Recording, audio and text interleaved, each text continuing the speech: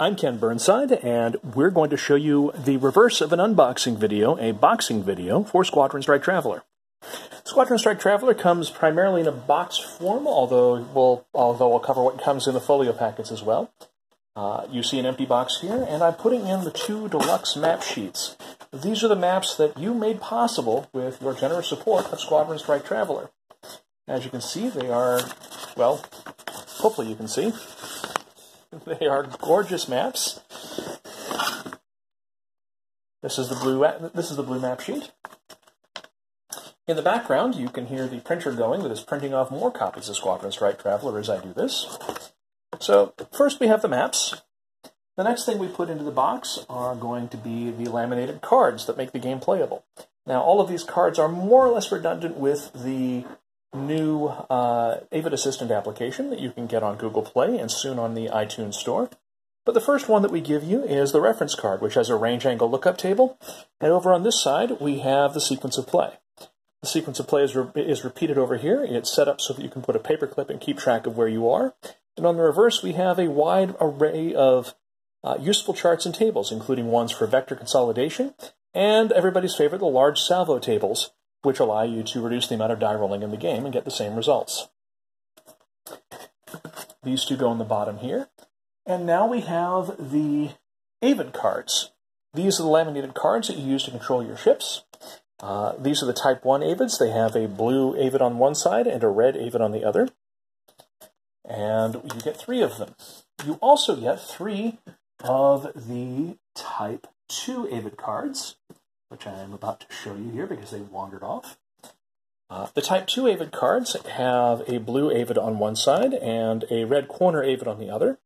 Uh, the corner Avids allow you to set up your game such that you can use either the you know, any edge of the hex map.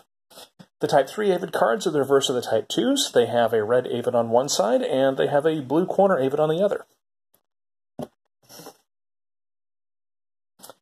So we've put in the cards, we've put in the uh, counter sheets. Uh, sorry, we put in the uh, cards, we put in the maps. And now we're going to show off the counter sheets.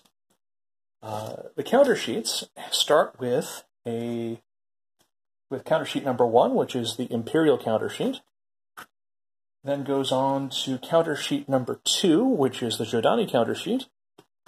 Counter sheet number three is sort of a hodgepodge and has a mixture of Zhodani and Imperial and Aslan ships.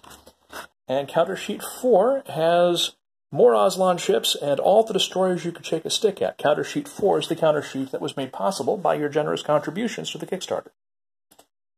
Next, after the counter sheets, we have the weapon reference tables. These have uh, TL-14 weapons for the Zhodani and the Aslan, and TL-15 weapons used by the Imperium.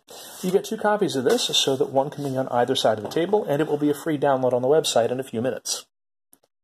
So now that we put in all the loose bits, it's time to take a look at the other stuff that goes in the box.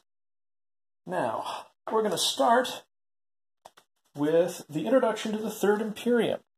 This is Traveller for people, this is the introduction to Traveller for people who basically have never played Traveller before. It has a history of the Third Imperium, it has all of the scenarios, it has lots of new information on the naval history for the Imperium, the, cons- the, the Jordanian consulates, and the Aslan hierates. In addition to this, it's got a dozen scenarios, or well, actually about 10 scenarios, with fiction leading into all of them and some sample naval characters to introduce as NPCs in your Traveller campaign. After that book, we have the meat of the product. This is the SSD book. This is all of the ships that are in Squadron Strike Traveller. You can see that there's quite a few of them based on the reference table in the back. You get 3D versions and 2D versions of most of the, of all of the of most of the ships. And we'll walk you through just looking at the Atlantic, which is the first ship in the set. So, the Atlantic has a full class history describing how it was built and why.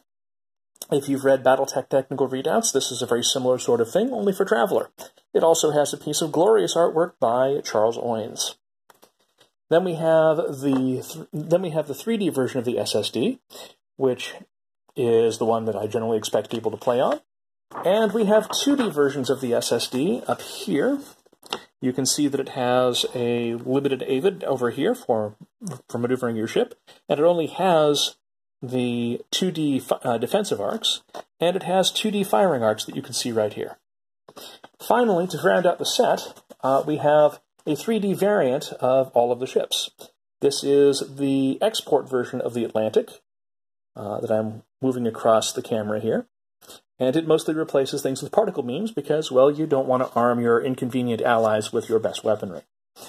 Uh, in a couple of cases, like the Gionetti, the uh, extra SSD is a refit to what the ship should have been because, well, nobody should build ships that are armed with Meson guns that don't have Meson screens, but that's what the canonical Gionetti has. Lastly, well, almost lastly, we have the Squadron Strike Traveller tutorial. This is a stage tutorial that will walk you through all the things you need to learn to play the game, uh, adding new rules and new complexity on each scenario. If you go through all four scenarios in order, you will pretty much pick up everything you need to play the game. Also note that on the front is your serial number, which you'll want to go and enter at services.adastragames.com to go and uh, get the downloadable content, which includes the Azhanti High Lightning class cruiser. The last bit of printed material we put into the box set is the Squadron Strike 2nd Edition rulebook. This has all the rules you need to play Squadron Strike, and Traveller only uses a subset of them. Uh, this happens to be a deluxe edition, and you can see why the deluxe edition is printed in full color, because most of the play-aids are printed in full color. Notice that I have to push down on the box to create space in this. Lastly, we have the plastic bits. These are tilt blocks. You have red ones and blue ones to match the red and blue sides of the map. We have stacking tiles. These are used to show altitude, and they nest inside of the uh, tilt blocks. White is 1 altitude, light blue is 4, the dark blue is 16, and the black tile right here is a negative altitude for going below the plane of the map. You get two bags of these stacking tiles. And lastly, everybody's favorite thing in the world, you get some dice. Uh, the red die is used for accuracy, the two black dice are used for penetration die rolls, and the blue die is used for hit location die rolls. This has been a complete build-up of Squadron Strike Traveller. Let's see if this box will actually close. Oh, hey, it almost will. Come on, you can do it. There we go.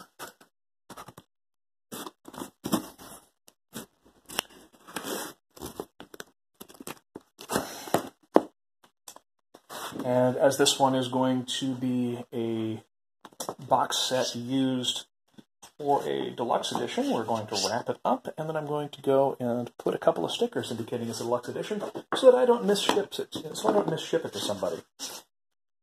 The first wave of Squadron Strike Traveller shipments should be coming out uh, late next week. I'm waiting for a few things to arrive from third-party components, but I've been told that they will be shipping on Monday and should be here by Wednesday or Thursday. Uh, what I can ship early in the week, I will ship. This has been the build up for Squadron Strike Traveller, a boxing video. Thank you for your attention, and I'm looking forward to getting these out to everybody.